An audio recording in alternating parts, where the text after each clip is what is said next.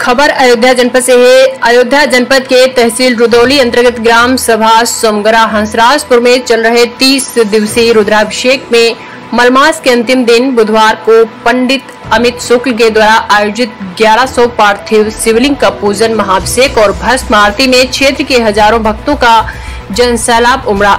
इस मौके पर पंडित अमित शुक्ला ने भक्तों के साथ 1100 पार्थिव पूजन अभिषेक करते हुए भगवान महाकाल से हिंदू राष्ट्र और सनातन धर्म की रक्षा और समाज के उत्थान और समाज कल्याण के लिए सदा ही ऐसे यज्ञ का आयोजन करते रहने का संकल्प लिया।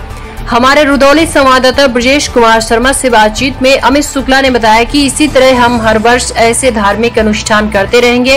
इस मौके पर श्रीनाथ यादव, उदय प्रताप सिंह, परमानंद शुक्ला, गौरव शुक्ला, कपिल शुक्ला, अमर तिवारी आदि लोगों ने रुद्राभिषेक कर अपना जीवन चरितार्थ किया। अयोध्या जनपद से ब्रजेश कुमार शर्मा की रिपोर्ट।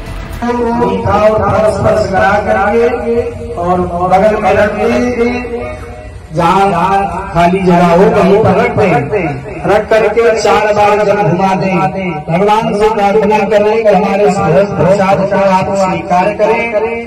सदा सर्वदा कल्याण करें। और नाम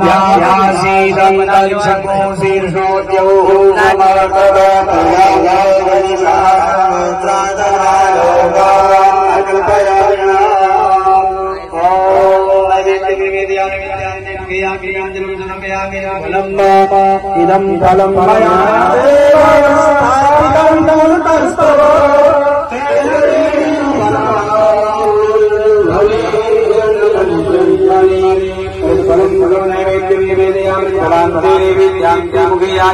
जलम पान पान गया है पान का पत्ता पान के पत्ते को चढ़ा दीजिए।